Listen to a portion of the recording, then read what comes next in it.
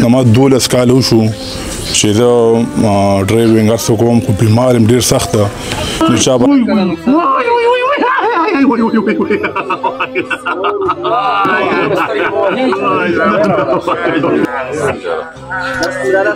وي وي وي وي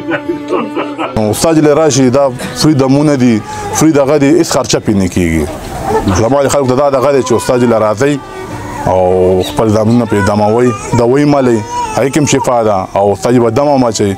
او شکر زما کار وسره ستر فیصد زما کار وسره وشو ماشه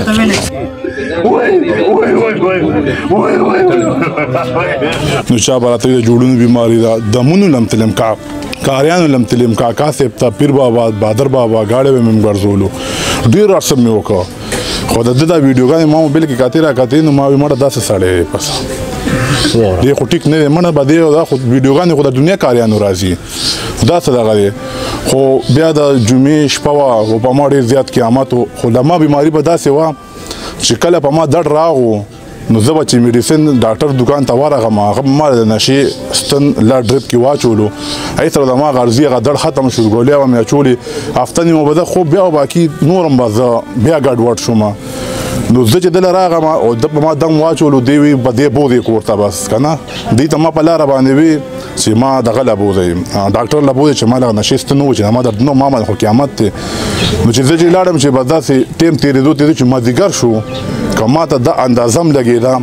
ما خو دوی لا لا لګ استعمال کړی دا لا لګ نه ریس استعمال کړی خو دلته کې دی ما لا دوی را کړی و نو بس هغه بیا چې ما دیګر شو زه بار وتم اصل کې دی کسانو ځینې ولم چا ولاندو د کولم چیغې وي او سورې وي نو زما یو افتو شو چې زه تیر شوی جمعه راغلم نن د خالی ورځ ده او زه په خپل خپل راغم یوازې راغم ما سره تربوران مو مرګري مو رشکه ټوله ډکه راغله او زنانه مر سره راغله نو ما ته اندازه ولګی دا استاد خو لکه بشفاوي دا به ټول کار د الله دی خو لکه زما طبیعت وسره په 100% کې با 70% اوس هم نری مری کړم دماغ وجود کې زی راځي خو اندازه راته لګي چې دی وی خلک چې هو وتل به برابرې زه په دویم دلم دا راغم او شکر دې چې ما وسره ډیره گزاره وشو او په دا وی راوښتا بیا به مرادم بیا به مرادم او مهرباني ما خلک ته دا غدي چې استاد لرا شي خو دې ډاکټرانو لم دې څوک ډاکټرانو سره الله پاک شفا ورکړي څوک استادانو سره ورکی نو استاد لري راشي دا فری دمونه دي فری دغه دي هیڅ خرچه پې نه کیږي زما خلک دا دغه دي چې استاد لري راځي